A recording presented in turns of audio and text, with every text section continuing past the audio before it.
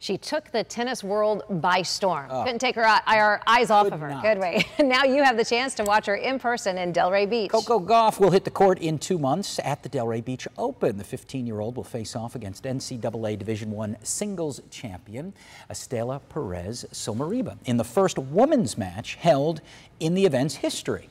That match will take place on February 15th.